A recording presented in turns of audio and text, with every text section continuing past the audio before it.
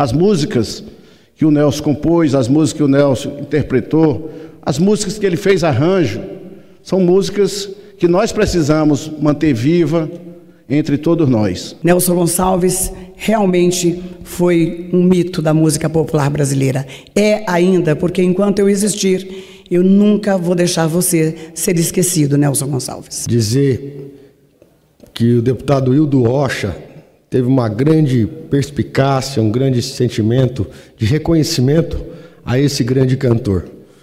Cantor que muitas vezes foi maldosamente crucificado por parte da mídia, mas que hoje que essa homenagem na casa, doutor Inaldo, se perpetua aquilo que já está se perpetuado, que é o nome de um grande cantor que marcou gerações e marca até hoje.